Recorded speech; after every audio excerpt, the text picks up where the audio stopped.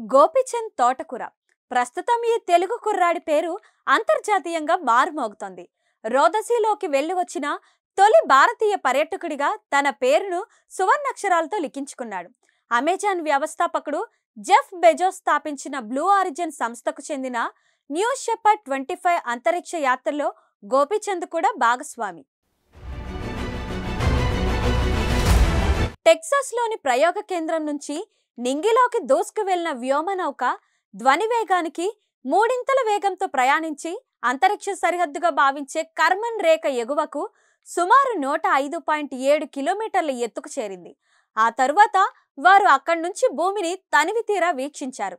పది నిమిషాల్లోనే యాత్రను ముగించుకున్న నౌక అనంతరం సురక్షితంగా భూమిని చేరింది. గోపీచంద్ పాల్గొన్న ఈ యాత్ర బ్లూ ఆరిజిన్ నిర్వహించిన ఏడవ మానవ సాహిత్య యాత్ర. అంతరిక్షంలోకి వెళ్ళాక మన దేశ జెండాను చూపించి గోపీచంద్ తన దేశభక్తిని చాటుకున్నారు.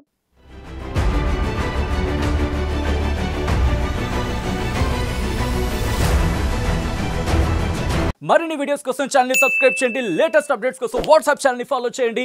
అండ్ లింక్ డిస్క్రిప్షన్లో ఉంది.